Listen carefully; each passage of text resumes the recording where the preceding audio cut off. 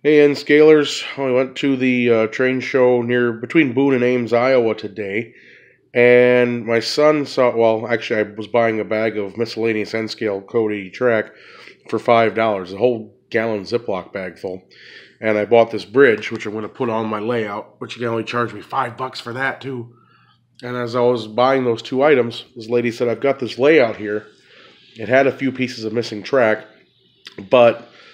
That being said, they only charged me five bucks for the layout. So I took some of the track I bought from them. Now it needs to be cleaned. Don't get me wrong, it needs to be cleaned, and I'm having a few spots where I've got to check because the track I pull is being derailed. But for my son, who really wants to get his own layout, uh, he had an HO one, but it just takes up so much room. This one I can pick up and move away if I have to. But uh, and again, I've got to turn it all up to 100 to get it to, to get it to move. But Maybe. Oh, did I, I to change the directions. Here we go. There we go. Come on, baby. Come on out. There we go. But I thought for basically a $10 investment, I got him a little throttle too, but I thought that wasn't a bad investment for a couple 10 bucks for everything.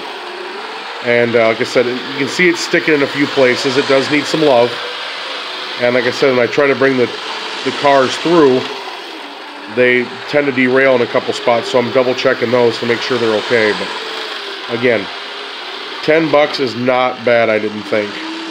Not for a little N scale set.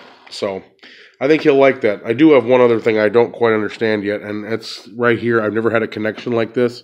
So I've just got wires in there holding it, and that's fine. But I don't know if I'm supposed to put a screw in there. I don't know if I should try soldering because this is plastic right here. And uh, that's I just don't want to keep falling out. That's all.